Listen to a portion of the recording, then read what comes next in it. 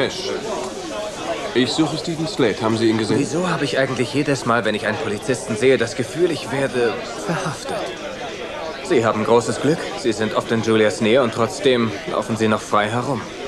Ich will Sie nicht verhaften oder mit Ihnen über Julia reden. Wissen Sie, wo Stephen Slade sich gerade aufhält? Also offen gesagt suche ich ihn selbst schon seit gestern Morgen. Wir wollten zusammen frühstücken. Als er nicht kam, habe ich ihn angerufen. Doch es war nur der Anrufbeantworter dran. Ja, haben Sie den Manager gefragt? Ja, ich habe ihn gefragt, aber er hat Steven ebenso wenig gesehen. Er sagt, er sei hier seit zwei Tagen nicht mehr gewesen. Ich habe keine Ahnung, wo er noch sein könnte. Ich habe ihn überall gesucht. Haben Sie eine Idee? Nein. Hat er Schwierigkeiten gemacht? Schön, dass Sie sich darum kümmern konnten. Vielen Dank. Und ganz besonderen Dank für diese Information. Ich melde mich dann bei Ihnen. Wiederhören. Eine weitere Produktionsfirma, die darum bettelt, für die Keppel-Oase Werbung machen zu dürfen.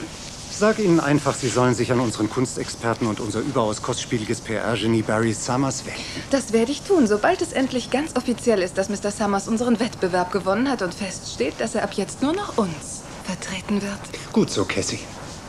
Trau dem Wort von niemandem, bevor du es nicht schriftlich hast.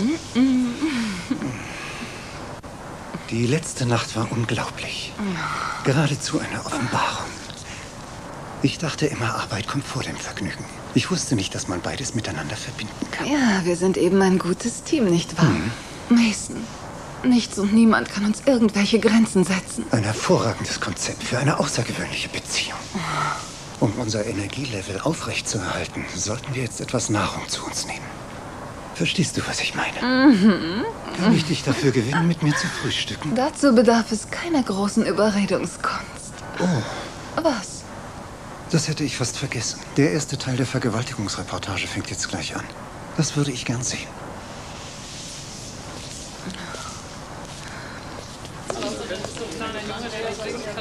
Nach der Einführung werde ich jede von euch einzeln ansprechen. Und ihr erzählt mir dann eure Erfahrungen. Habt ihr noch Fragen? Ich habe eine. Ja, Leila. Kann ich irgendetwas gegen die Aufregung tun? Ich bin noch nie im Fernsehen gewesen und ich habe noch nie öffentlich über das gesprochen, was mir passiert ist. Hören Sie, ich finde es großartig, dass ein junges Mädchen wie Sie sich traut, hier über so etwas zu reden. Als ich so alt war wie Sie, hätte ich am liebsten alles verdrängt.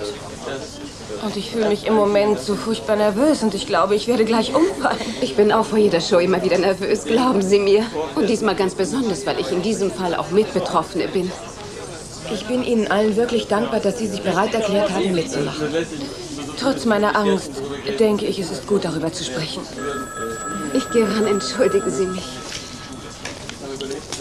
Hier, Eden Castillo. Es ist schön, deine Stimme zu hören. Aber ich muss zugeben, dass ich langsam die Geduld verliere. Ich warne Sie, lassen Sie mich in Ruhe. Hören Sie auf, mich zu belästigen. Danny! Bitte fragen Sie mich, bevor Sie irgendwelche Anrufe durchstellen. Tut mir leid, es wird nie wieder vorkommen, okay? Bitte. Alles in Ordnung? Es geht mir gut. Es war nur jemand, der wahllos Leute am Telefon belästigt. Geht's dir wirklich gut? Ja, glaub mir.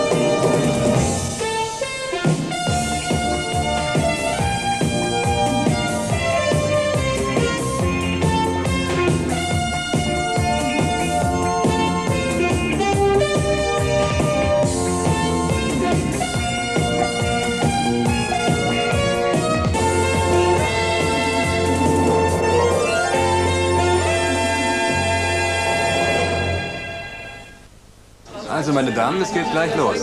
Ruhe im Studio, bitte. Okay, und fünf, vier, drei, zwei. Guten Tag, hier ist Eden Castillo für KSB TV. Sie sehen heute eine Reportageserie zum Thema Vergewaltigung. Wir sprechen über eine besondere Form der Vergewaltigung, der Vergewaltigung durch Angehörige und Bekannte. Das Thema ist so geläufig, dass es schon fast alltäglich ist, darüber zu reden. Aber wenn Sie darüber nachdenken, gibt es kaum etwas Verabscheuungswürdigeres. Denn Angehörige und Freunde sind Vertraute. Doch sie missbrauchen das Vertrauen. Und die Frauen erleiden einen schweren seelischen Schaden. Die meisten Frauen können sich nicht überwinden, die Vergewaltigung durch einen Nahestehenden zur Anzeige zu bringen. Aber in letzter Zeit sind immer mehr Frauen bereit, über ihre persönlichen Erfahrungen zu sprechen. Die meisten von ihnen dürften wissen, dass ich selbst auch vergewaltigt wurde. Ich kannte auch denjenigen, der mir das angetan hat, aber ich war mir zunächst über seine Doppelrolle nicht klar. Und ich hatte nie einen engen Kontakt zu ihm. Das unterscheidet meinen Fall von den Fällen der Frauen, die heute hier sind. Meine drei Gäste kannten und vertrauten dem Mann, der sie angeblich vergewaltigte. Der Grund, weshalb ich sagte angeblich, ist, dass keiner dieser Männer davon überzeugt war, eine Straftat begangen zu haben. Der Mann, der angeklagt war, Julia Wainwright vergewaltigt zu haben, wurde vor Gericht freigesprochen. Gina Timmons war ein Teenager, als es geschah. Lila Santos hat niemals Anklage erhoben. Der Mann, der mir das angetan hat, starb, ehe man ihn vor Gericht stellen konnte. Sie sehen vier Frauen vor sich, die die gleiche schreckliche Erfahrung gemacht haben. Die versuchen, mit dem zurechtzukommen, was ihnen passiert ist. Diese einen tragischen Erfahrung, die alles für sie verändert hat. Die meisten Männer, die eine Vergewaltigung... Mrs. Henderson, hier spricht Officer Donnelly von der Santa Barbara Polizei. Ich bin unter 5554810 zu erreichen. Ich muss so bald wie möglich mit Ihnen sprechen. Beide dem Sexualakt gleichermaßen folgen. Oft handelt es sich bei den Tätern um Menschen, Ich denen habe ganz vergessen, dass das läuft. Die Täter empfinden sich diskreditiert. Sie haben Angst, dass ihr Ruf ruiniert wird und sie ihr Ansehen, das des anständigen Mannes verlieren. Wieso rückt sie nicht offen damit heraus, dass Dash Nichols Abschaum ist und ins Gefängnis gehört? Die Sie gehören auch zu denen, die glauben, Julia würde niemals lügen. Hm? genau. Nicht, wenn es um sowas geht. Das 17-jährige Mädchen wurde von dem 18-jährigen Nachbarsjungen, Soll ich ihm was sagen? Das Gericht hat mich freigesprochen. Aber ich werde durch den Schmutz gezogen durch das, was Julia verbreitet. Ich habe meinen Job verloren. Sehen Sie, wie mich die Leute hier anstarren? Wieso gehen Sie nicht einfach nach Hause und sehen es sich dort an? Weil ich unschuldig bin und mich auch nicht wie ein Schuldiger verhalten will. Sagen Sie bitte, könnte ich einen Kaffee haben? Natürlich, bitte. Danke. Aber lassen wir doch am besten Lila Santos selbst erzählen. Haben Sie was über Steven rausgefunden? Ich hatte Angst. Ich habe seine Vermieterin angerufen. Sie ist nicht da gewesen. Heute Morgen habe ich mit Laken geredet. Sie ist eine seiner Schülerinnen. Sie sagte, er hätte sich heute Morgen nicht blicken lassen und er hätte auch keinem seiner Studenten abgesagt. Das ergibt keinen Sinn. Ich kann mir vorstellen, dass er eine Verabredung mit mir vergisst, weil er etwas Zeit braucht, um einen klaren Kopf zu kriegen, aber er würde sicher niemals seine Schüler vergessen. Dafür kümmert er sich viel zu viel um sie. Deswegen wirkten die Schüler auch so niedergeschlagen, weil Steven offensichtlich immer einen großen Wirbel darum gemacht hat, dass alle pünktlich erscheinen. Und dann kommt er selbst nicht ohne vorher abzusagen. Tja, ich habe keine Ahnung, was da los ist. So ein Zufall, dort kommt seine Vermieterin. Guten Tag, Sie sind doch der Schnickel. Ja, der bin ich. Schön, Sie zu sehen, Mrs. Äh, Henderson. Steven Slade ist einer meiner Sehr Mieter. Ich denke, Sie haben mich bestimmt noch nicht oft gesehen oder wahrgenommen, aber ich Sie. Sie sind ja jetzt immer in den Zeitungen. Ich freue mich, dass Sie von der Anklage freigesprochen worden sind. Ich denke, dass sie einfach nur frustriert war. Ich meine, sie hat den Capway nur wegen des Geldes geheiratet. Mrs. Henderson, ich bin Officer Dummerly. Oh, Sie sind derjenige, der mich angerufen hat. Ich habe es nicht rechtzeitig zum Telefon geschafft. Doch dann bin ich gleich hergefahren. Ich bin noch Danke, nie zuvor hier sind. gewesen. Ich habe Mr. Slade versprochen, wir würden mal hier vorbeischauen. Aber meinen Mann vom Fernseher wegzukriegen ist so gut wie unmöglich. Ah, ja. Glauben Sie mir. Verstehe. Er sitzt im Moment auch gerade davor. Ja, er sieht sich genau diese Sendung an. Er ist verrückt auf diese Eden Castillo. Mir gefällt ehrlich gesagt Ihre Frisur nicht so besonders. Ja, naja, setzen? Entschuldigen Sie uns. Mrs. Henderson. Denken Sie bitte genau nach. Haben Sie Stephen Slade in den letzten Tagen irgendwann mal Nein, gesehen? seit vorgestern schon nicht mehr. Und ich habe genau darauf geachtet, ob er da ist. Ah, wissen Sie, als ich hörte, dass ein Polizist seinetwegen angerufen hat, da kriegte ich sofort so ein komisches Gefühl in der Magengrube. Weswegen denn? Weil sein Auto in der Garage steht und er nirgends zu sehen ist. Nach dem, was sich in der Nacht davor abgespielt hat, bin ich ein wenig besorgt. Was ist denn da passiert? Es hat mich aus dem Schlaf gerissen und Sie können mir glauben, so wie Hank schnarcht, kann ich es mir nicht leisten, zu viel Schlaf zu verlieren. Er schnarcht, als Mrs. ob... Henderson, wodurch genau wurden Sie in dieser Nacht aufgeweckt? Eine Frau. Sie und Mr. Slade haben sich gegenseitig angeschrien. Es ist mir passiert, als ich 13 war. Ähm, als meine Eltern herausfanden, dass ich schwanger war, haben sie sich so geschämt, dass sie beschlossen haben, mich von der Schule zu nehmen und mich zu Hause zu verstecken. Ich hatte nicht den Mut, wegzulaufen, so wie sie. Vielleicht, wenn ich ein bisschen älter gewesen wäre. Ich denke, dass meine Mutter sogar erlaubt hätte, dass ich das Baby behalte, aber nicht mein Vater. Er schämte sich vor seinen Freunden und vor unseren Nachbarn. Er verlangte, dass ich mein Kind zur Adoption freigebe und äh, ich denke, dass ich mit 13 keine gute Mutter gewesen wäre. Ich hatte allerdings auch keine Chance, es rauszufinden. Als ich meine Tochter das nächste Mal wieder sah, war sie bereits erwachsen. Wir sind uns natürlich fremd gewesen. Was geschah dem Mann, der sie vergewaltigte? Nichts. Er war ein Highschool-Footballstar. Dazu kommt noch, dass er im selben Team wie mein Bruder gespielt hat.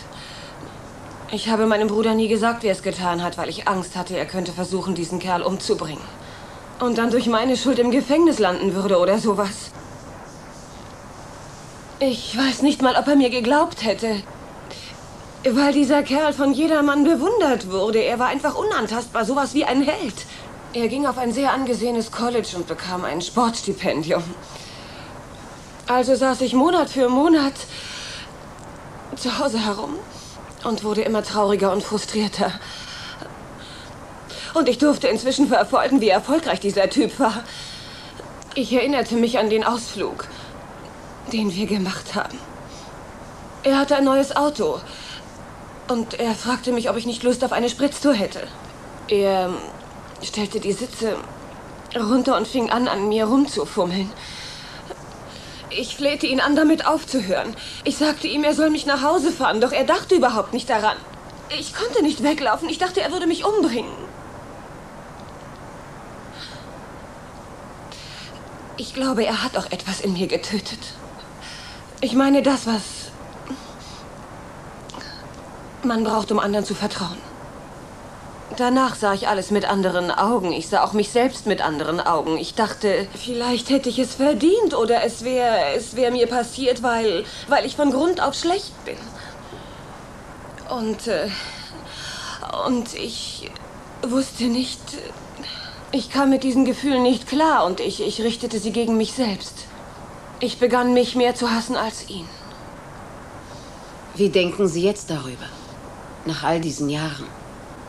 Ich weiß es nicht genau. Ich denke, ich habe es geschafft, mir zu verzeihen. Und ich habe festgestellt, dass es ganz und gar nicht meine Schuld gewesen ist. Keine Frau sollte sich von einem Mann zu etwas zwingen lassen, nur weil er stärker ist als sie. Er hat kein Recht dazu. Nicht ich bin ein schlechter Mensch, sondern er. Tja, das sind die guten Neuigkeiten. Und was sind die schlechten, Gina? Ich habe mich danach nie mehr sicher gefühlt. Allein die Vorstellung, dass jemand so viel Unheil anrichtet und vollkommen ungeschoren davonkommt, dagegen muss man etwas tun. Wenn man ihn bestraft hätte, hätte er vielleicht begriffen, was er mir angetan hat. Aber stattdessen waren Sie diejenige, die bestraft wurde. Und er hat wahrscheinlich nicht mal eine schlaflose Nacht gehabt. Das, worüber Sie gesprochen haben, Gina, ist, wie allein und isoliert sich ein Vergewaltigungsopfer fühlt. Du bist plötzlich ein anderer Mensch. Du kannst das, was passiert ist, nie vergessen. Ich hatte immer das Gefühl, ich wäre besser dran gewesen. Ich hätte vielleicht ein besseres Leben gehabt, wenn ich damals diese Fahrt nicht mitgemacht hätte. Wir machen jetzt eine Pause und Arme melden Gina, uns in einer Minute. ich möchte wissen, ob das wahr ist. Ich kann nicht glauben, was du da sagst. Nicht, dass sie vergewaltigt wurde, aber dass es ihr Leben verändert hat. Ich kenne sie seit langer Zeit. Ich kann sie mir einfach nicht anders vorstellen, als sie ist. Ja, und wahrscheinlich wollte sie es sogar. Warum hat sie sich nicht zurückgelehnt und es einfach genossen? Das habe ich weder gemeint noch gesagt. Was ist mit dir los? Nichts. Jedenfalls nichts, was du verstehen könntest, Mason, denn du bist ein Mann und ein privilegierter Mann noch dazu.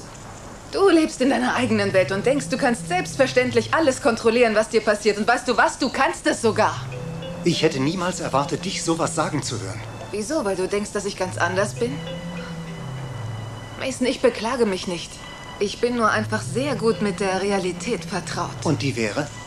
Dass Männer in erster Linie das Rennen machen und Frauen, wenn sie großes Glück haben, ihnen vielleicht dabei helfen dürfen. Dieser Filmbericht hat dich offensichtlich ziemlich beeindruckt. Ich denke, jeder Frau wird, wird es schwerfallen, das zu sehen, ohne beeindruckt zu sein. Mason, jeder Frau könnte das passieren. Und ebenso gut mir. Ja, du hast recht. Gott sei Dank ist es das nicht. Ja, ich werde mir eine Tasse Kaffee holen. Willst du auch irgendetwas? Nein, danke.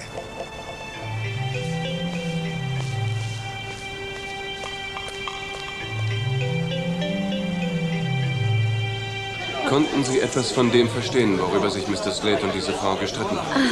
Officer Donnelly, für was für eine Sorte Vermieterin halten Sie mich? Ich schnüffle meinen Mieter nicht hinterher und ich klatsche nicht über Sie. Wenn Sie Ihre Miete bezahlen und korrekt sind, lasse ich Sie in Ruhe. Ich würde nie Ja, verstehe. Nur ist es so, dass wir noch über- keinen anderen Anhaltspunkt haben. Falls Sie irgendeine Vermutung Also- haben, dann...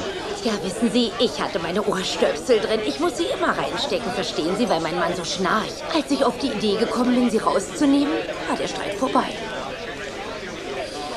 Also konnten Sie sozusagen nichts hören und sehen? Konnten Sie auch nichts, richtig? Ich sagte nicht, dass ich nichts gesehen hätte. Officer Donnelly, Sie sollten sich mal ein paar Krimis im Fernsehen ansehen, weil Sie einiges darüber lernen können, wie man Zeugen. Sagen befragt. Sie mir bitte nur, was Sie gesehen haben. Gut, ähm, ich hörte Mr. Slades Tür zufallen, also habe ich aus dem Fenster rausgeguckt und gesehen, wie diese Frau wegging. Mann, oh Mann, sah die sauer aus. Man konnte sehen, wie sie Ja, Dampf ja, schon gut, ich verstehe. Könnten Sie mir bitte diese Frau beschreiben? Sicher kann ich das. Es ist ein Glück, dass ich meine Brille nachts nicht brauche. Okay, Wissen Sie, ich okay. brauche sie nämlich nur beim Zeitunglesen für das ganz kleine Mrs. Henderson, bitte. Oh ja, ich weiß, ich quatsche immer viel zu viel. Okay, wie sie ausgesehen hat.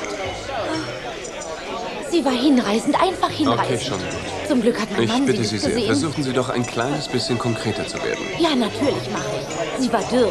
Manche Männer nennen sowas schlank. Sie war mittelgroß und sie hatte bildschöne, lange, rotbraune Haare.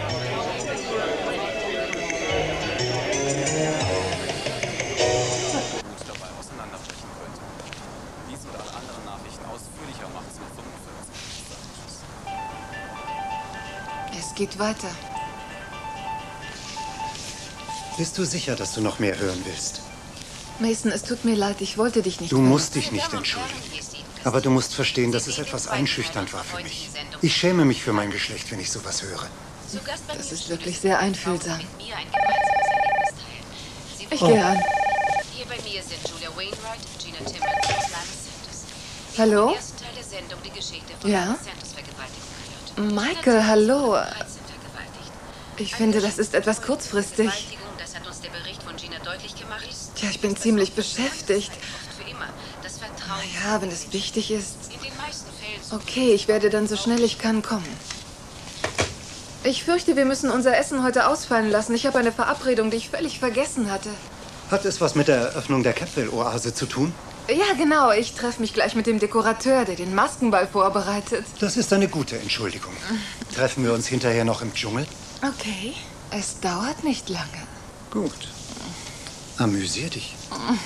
Ich versuch's.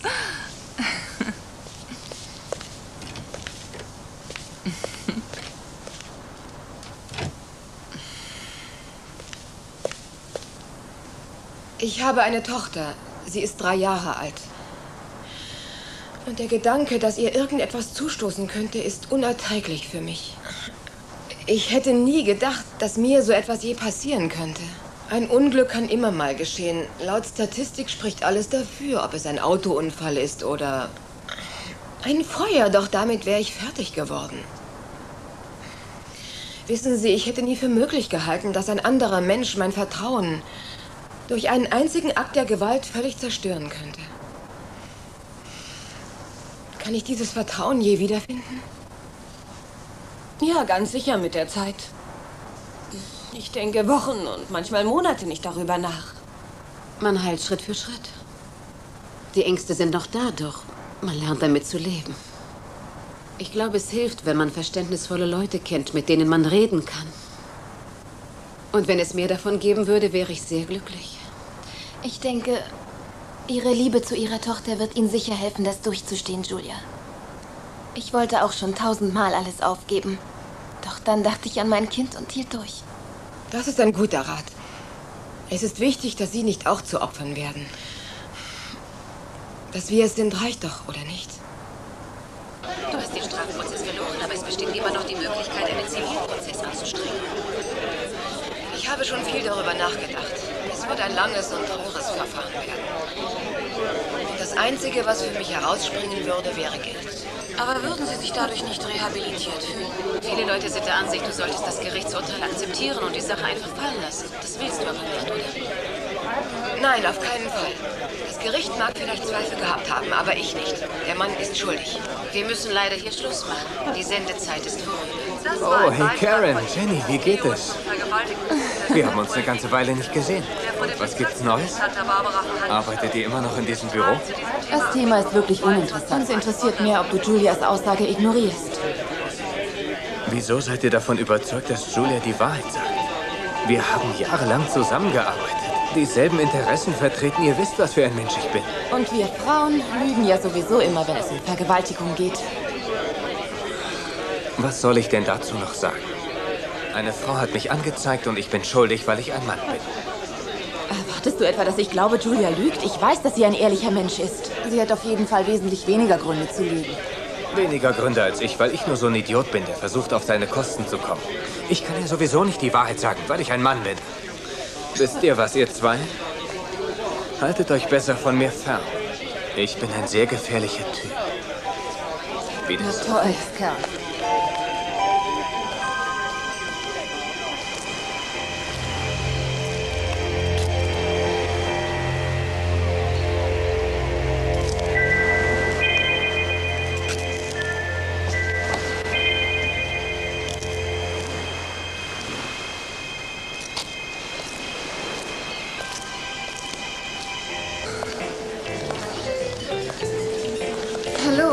Sie mussten nicht zu lange warten. Ich bin so schnell gekommen, wie es geht. Ich freue mich, dass Sie kommen konnten.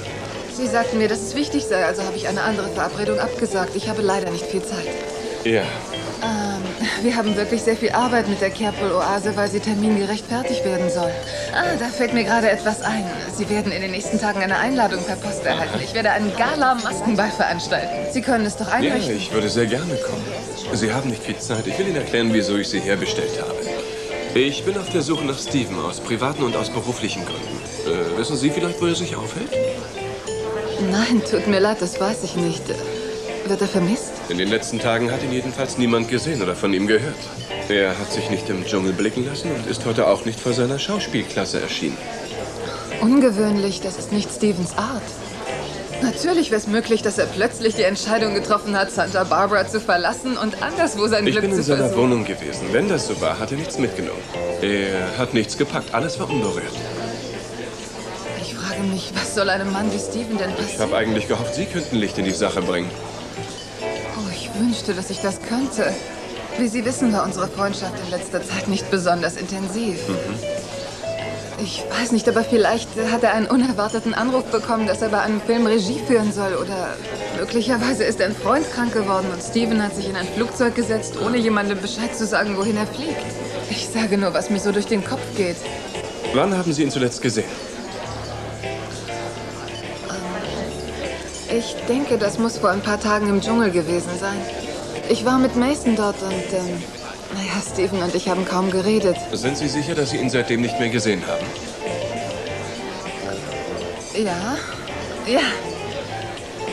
Sind Sie nicht zufällig in seiner Wohnung gewesen? Nein. Wieso fragen Sie? Seine Hauswirtin hat ausgesagt, dass sie hörte, wie er sehr spät in der Nacht mit einer Frau einen heftigen Streit hatte. Wirklich? Vielleicht hat er eine heimliche Geliebte, von der keiner etwas wissen soll und sitzt jetzt seelenruhig bei ihr zu Hause und macht sich ein paar schöne Stunden mit. Seine Hauswirtin hat diese Frau übrigens gesehen. Und die Beschreibung von ihr passt ziemlich genau auf sie.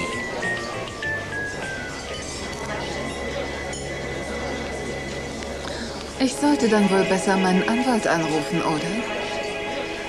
Brauchen Sie einen Anwalt? Ich bin nicht sicher. Was wird mir überhaupt vorgeworfen? Ich habe Ihnen nur einige Fragen gestellt, das ist alles. Meine Güte, das hört sich vertraut an. Es könnte glatt von meinem Freund Stephen stammen. Waren Sie es nun, Cassandra? Nein. Nein. Ich bin ganz sicher, dass Sie dahinter kommen werden, wer diese mysteriöse Frau gewesen ist. Und glauben Sie mir, ich hoffe um Stevens Willen, dass es mit einer Affäre zu tun hat und dass nicht mehr dahinter steckt. Mhm. Lassen Sie es mich wissen, wenn Sie etwas Neues herausfinden. Aber natürlich. Vielen Dank. Ich weiß das zu schätzen. Es tut mir leid, aber ich hab's wirklich eilig. Viel Glück. Sie finden ihn bestimmt. Danke.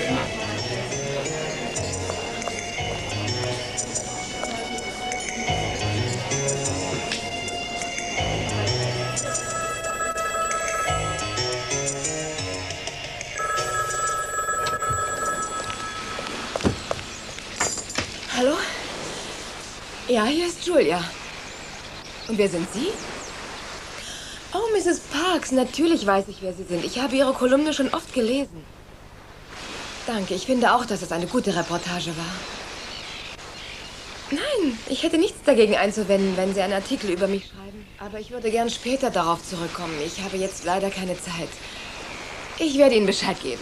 Vielen Dank. Wiederhören.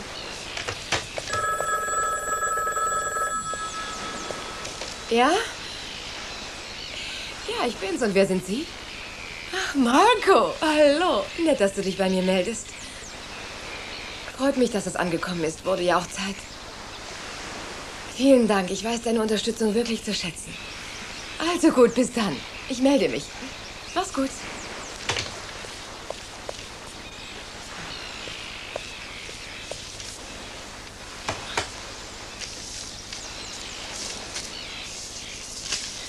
Julia, die Show war wundervoll. Ich habe Samantha in den Schönheitssalon mitgenommen. Es wird nicht lange dauern, Augusta. Na wunderbar. Die Tür stand offen. Trotzdem ist es Hausfriedensbruch. Verschwinde. Julia, du hast gewonnen. Das wollte ich dir nur sagen.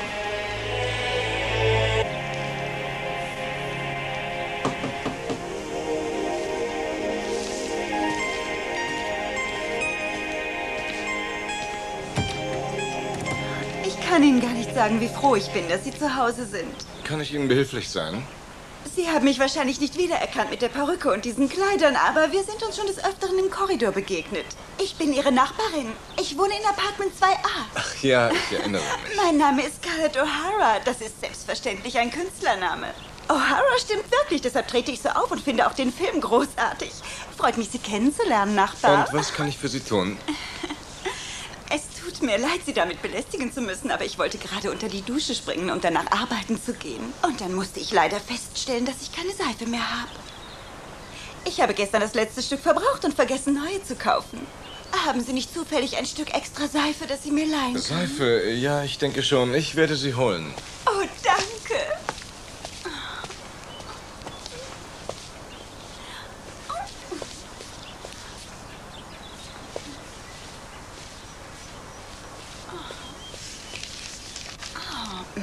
Maskenball, wow.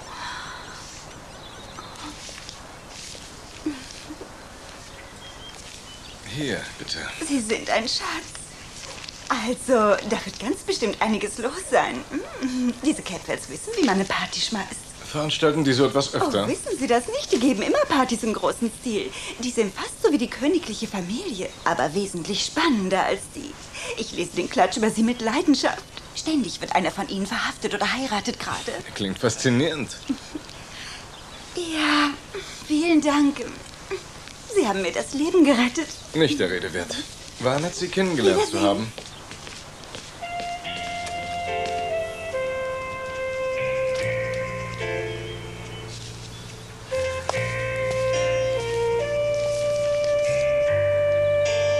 Das ist ja wirklich interessant.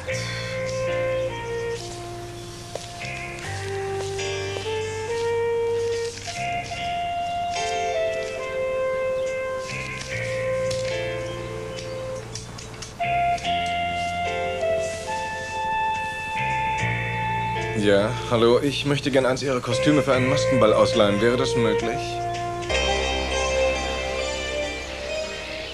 Die Schlacht vor Gericht habe ich gewonnen, aber du bist die Siegerin. Du musst jetzt glücklich sein, Julia. Du hast es geschafft, mein Leben zu ruinieren. Ich meine, diese Sendung hat den letzten Rest meiner Glaubwürdigkeit geraubt.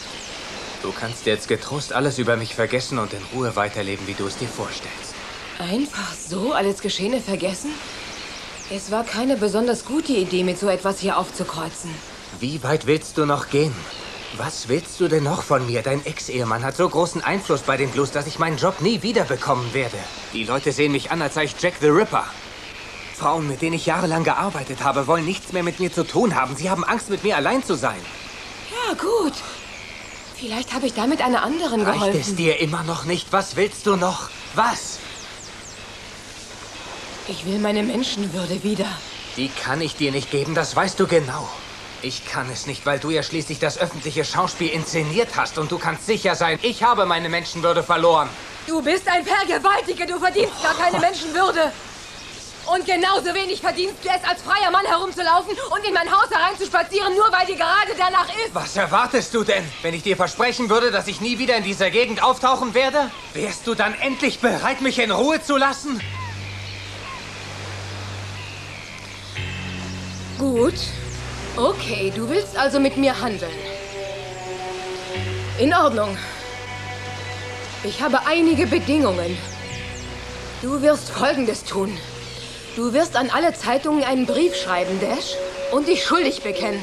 Dann wirst du in Eden Castillos Sendung auftreten und zugeben, dass du mich vergewaltigt hast und dass deine Aussagen falsch waren. Danach wirst du dich umgehend einer Therapie für Sexualtäter unterziehen. Und wenn das alles erledigt ist, verschwindest du aus Santa Barbara und wirst dich nie wieder hier sehen lassen. Ich werde nichts dergleichen tun. Ich bin unschuldig, das weißt du genau. Ich werde mich nicht von dir verdrängen lassen. Wenn ich hier verschwinden würde, käme das einem Geständnis Es gleich. ist deine Entscheidung, dann wirst du mit den Konsequenzen leben müssen, denn ich verspreche dir, dass ich dich keine Minute Gut. mehr in Ruhe lasse.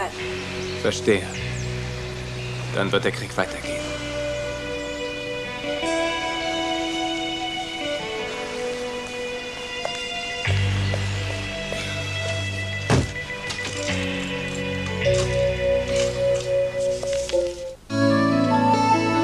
Oh, danke.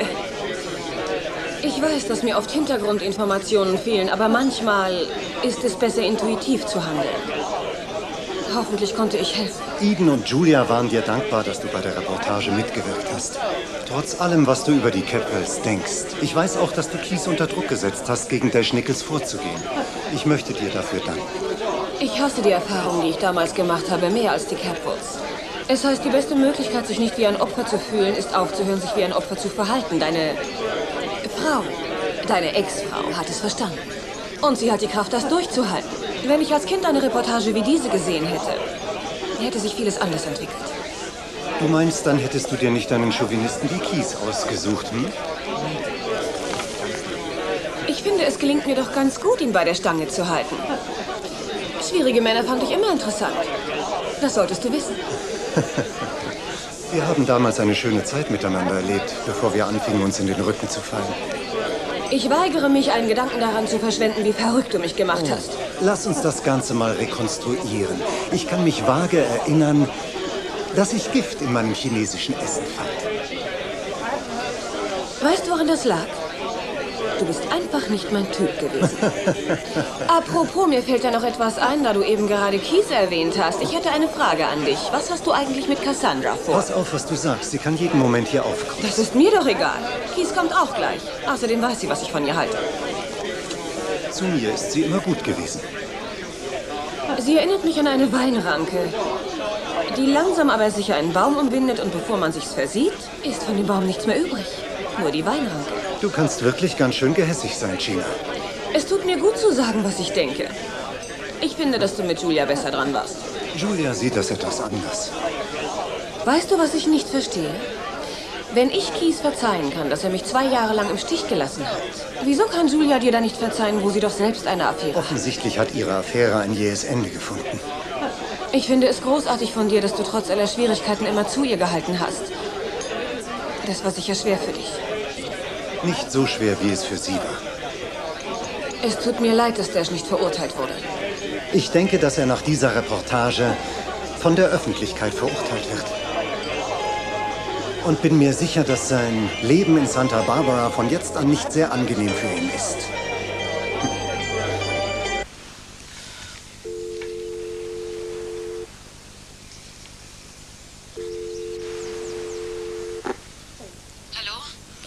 Hallo Eden, hier ist Julia.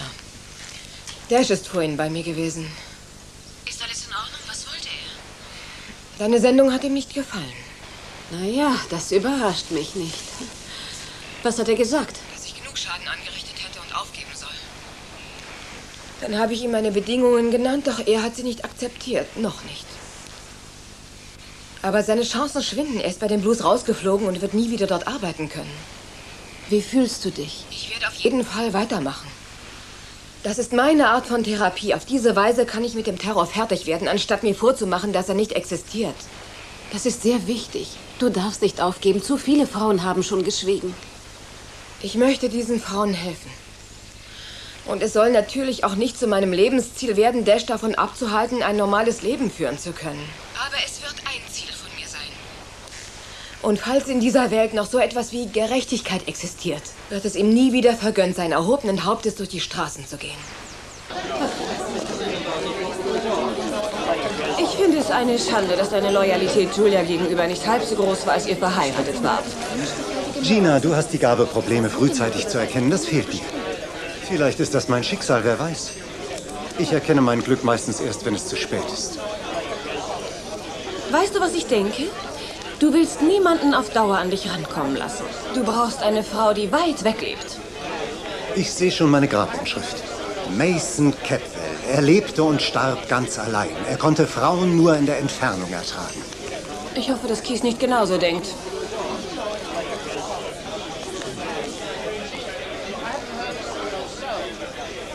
Sturmwarnung. Es wundert mich, dass er so lange gewartet hat. Sie sehen genauso selbstgefällig aus, wie ich dachte.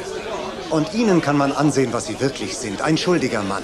Ich wusste, dass Sie reich genug sind, um sich alles zu kaufen, was Sie wollen, aber ich wusste nicht, dass die bloß bestechlich sind. Wen haben Sie gekauft oder bestochen? Es war wesentlich einfacher als das. Wissen Sie, die Oase-Gesellschaft hatte sich verpflichtet, sämtliche Programme durchzuführen, die uns von den Blues auferlegt wurden, als Sie noch der Regenguru waren. Dann haben wir das Problem gelöst. Sie mussten gefeuert werden. Ich verstehe. Sie haben Ihnen also ein Angebot gemacht und die Blues werfen mich dafür den Hunden zum Fraß. Das hoffe ich nicht. Womit haben die Hunde sowas verdient? Warten Sie, Dash. Lassen Sie sich um Gottes Willen nicht von ihm reizen. Das lohnt Sieh nicht. mal einer an. Da ist ja die Verräterin an ihrem eigenen Geschlecht, die ihr berufliches Ansehen auf der Verteidigung eines Vergewaltigers Nehmen Sie aufbaut. das zurück, Capwell, oder ich werde Sie wegen Beleidigung vor Gericht bringen. Dieser Mann wurde vor Gericht als unschuldig erklärt. Unglücklicherweise ist unser Rechtssystem nicht fehlerfrei. Gelegentlich zieht sich leider eine Schleimspur hindurch. Wissen Sie was? Sie allein sind schuld daran, dass Julia so weit gegangen ist. Sie ist erst so geworden, weil Sie sie belogen, betrogen und missbraucht haben. Ich warne Sie. Treiben Sie es ja nicht zu weit, Nichols, oder ich... Nicht, Na los, kommen. Sie. Das ist doch sinnlos. Setzen wir uns wieder hin. Ich kann Ihnen nur raten, auf Ihre Anwältin zu hören. Das werde ich auch.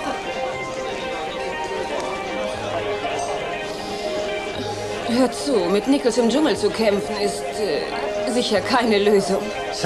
Ich finde außerdem, dass du ihn ganz schön in die Enge getrieben hast.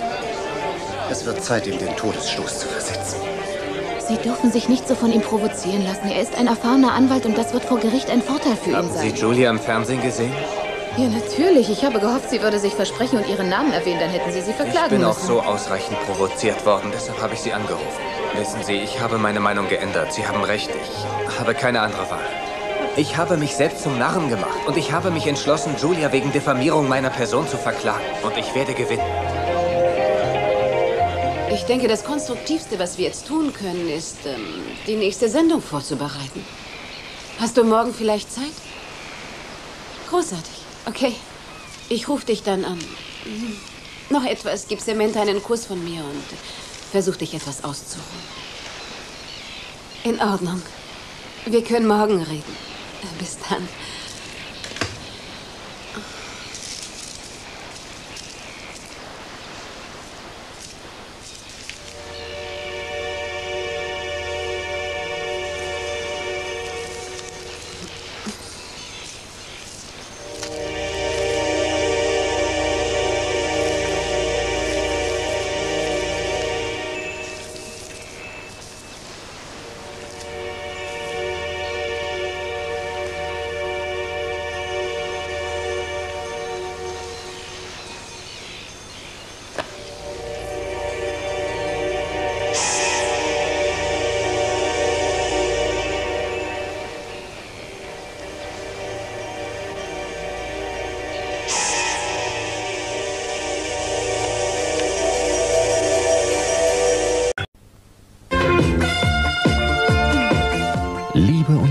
Und Leidenschaft, Intrigen und Hass. Wie es weitergeht, erfahren Sie schon morgen zur gewohnten Zeit im California Clan hier bei RTL.